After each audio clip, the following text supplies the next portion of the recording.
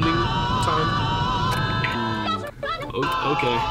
We're gonna film the next Parasite. Bye.